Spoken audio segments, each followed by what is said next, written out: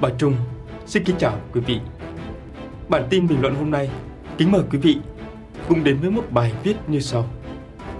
Gaza có thực sự là nhà tù lộ thiên lớn nhất thế giới? Sau đây là phần chuyển ngữ bài viết của tác giả người Hoa là Quảng Tùng về nơi mà nhiều người vẫn gọi là nhà tù lộ thiên lớn nhất thế giới.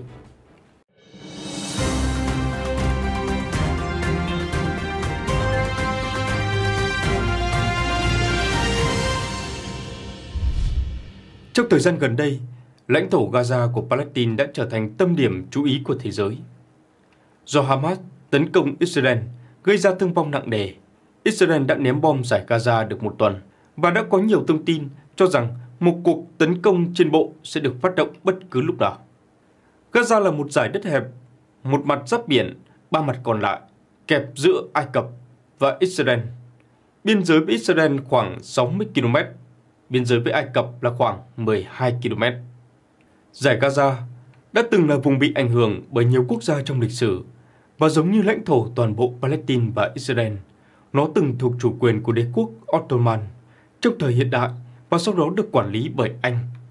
Theo nghị quyết 181 của Liên Hợp Quốc, Gaza lẽ ra phải thuộc về Palestine.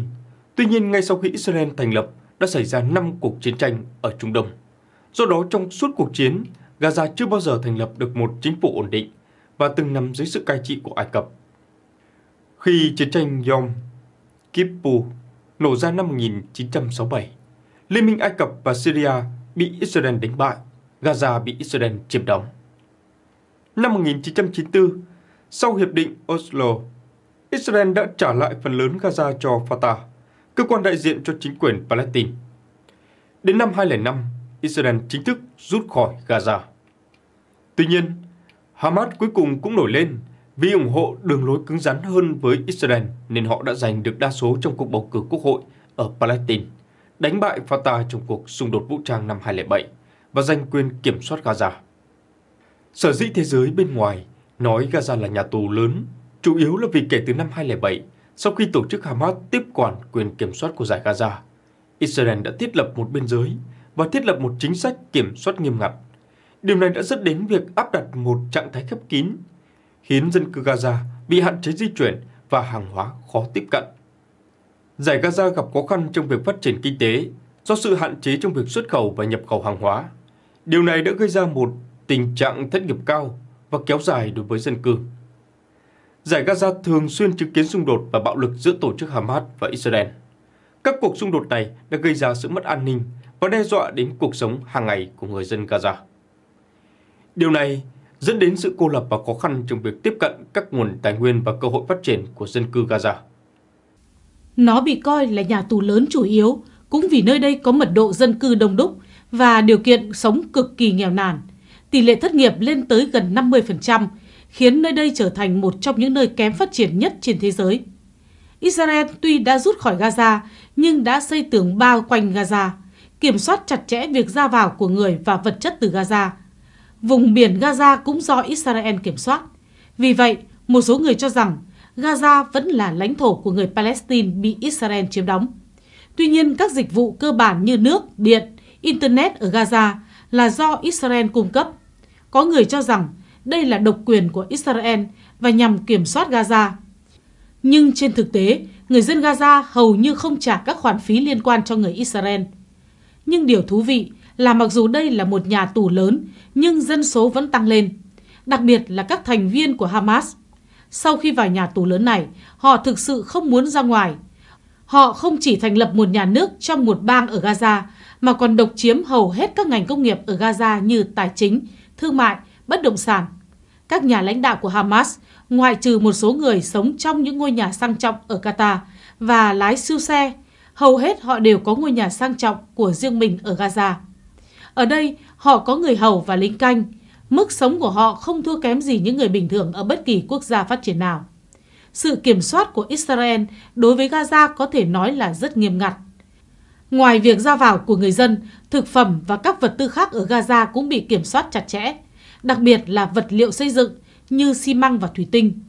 Nhưng trong hoàn cảnh như vậy, các thành viên Hamas thực sự đã có thể thực hiện các dự án xây dựng quy mô lớn ngoài việc xây dựng ngân hàng, tòa nhà văn phòng, trung tâm chỉ huy và dinh thự trên mặt đất, họ còn xây dựng những đường hầm dưới lòng đất ngoài sức tưởng tượng của người dân bình thường. Theo điều tra của BBC, khi Hamas thịnh vượng nhất, có ít nhất 2.500 đường hầm dưới lòng đất ở Gaza. Một số dẫn đến Israel, nhưng chủ yếu dẫn sang phía Ai Cập.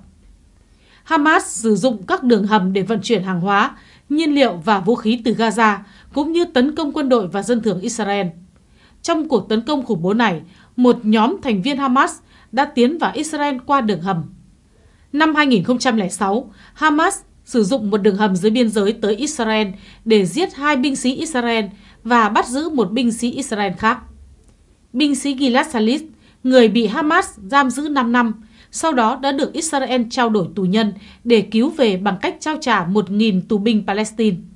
Trong cuộc trao đổi tù nhân đó, một số người Palestine được thả đã trở thành nhân tố chủ chốt trong cuộc tấn công vào Israel. Năm 2014, Israel tiến hành cuộc không kích và tấn công chuyên bộ quy mô lớn ở Gaza với mục tiêu dọn sạch các đường hầm dưới lòng đất. Theo báo cáo của Israel, quân đội Israel đã phá hủy hơn 30 đường hầm của Hamas vào thời điểm đó. Tuy nhiên Hamas vẫn sử dụng đường hầm để tiến hành cuộc tấn công và giết chết 4 binh sĩ Israel tham gia chiến dịch. Năm 2021, Israel tuyên bố đã phá hủy hơn 100 km đường hầm của Hamas trong các cuộc không kích. Nhưng Hamas cho biết tổng chiều dài đường hầm của họ là 500 km và chỉ có 5% bị trúng bom. Để so sánh, các bạn có thể so sánh dữ liệu tham khảo. Đến năm 2020, chiều dài của tàu điện ngầm Bắc Kinh là 500 km. Đối với Hamas, những đường hầm này không chỉ là đường vận chuyển mà còn là nơi ẩn náu, trung tâm chỉ huy của các thủ lĩnh của họ. Những đường hầm này có hệ thống chiếu sáng, điện, lưu trữ lương thực và vũ khí. Một số trong chúng có thể đủ rộng để cho hai chiếc Hummer đỗ cạnh nhau và một số có thể đủ rộng để lái được hai chiếc Hummer song song. Thậm chí có nơi còn có đường dây xe lửa. Theo truyền thông nước ngoài, độ sâu của các đường hầm dưới lòng đất ở Gaza lên tới 30 mét. Lối ra nằm dưới các khu nhà dân sự, nhà thờ Hồi giáo và trường học, khiến quân đội Israel không thể dễ dàng tiến hành các cuộc tấn công. Vậy câu hỏi đặt ra là, dù lệnh phong tỏa của Israel quá chặt chẽ, nhưng vì sao Hamas vẫn có tiền và vật tư từ đâu ra để thực hiện dự án lớn như vậy? Trên thực tế, mặc dù Gaza dường như bị chặn bởi các bức tường cao và gặp khó khăn trong phát triển kinh tế, nhưng nhiều viện trợ quốc tế đã đến Gaza trong một thời gian dài và sau mỗi cuộc xung đột, Israel sẽ thu xếp các nguồn cung cấp đặc biệt để đưa vào tái thiết vùng đất này. Các phần tử Hamas kiểm soát nơi này đã chiếm dụng một số kinh phí và vật liệu đáng lẽ phải được sử dụng để cải thiện sinh kế của người dân, để xây nhà hoặc xây đường hầm dưới lòng đất cho mình. Suy cho cùng thì chính họ là người có quyền quyết định ở đây và chính họ tạo ra nhà tù cho người dân của họ. Nếu Gaza thực sự là một nhà tù lớn thì đó là nhà tù dành cho những người Palestine bình thường ở đây. Đối với các phần tử Hamas, đây là pháo đài vững chắc và vương quốc độc lập của họ và người Palestine ở đây cũng có thể cung cấp cho họ một nguồn lao động, binh lính và thậm chí cả thuế ổn định. Khi cần thiết, họ cũng có thể trở thành lá chắn thịt của Hamas.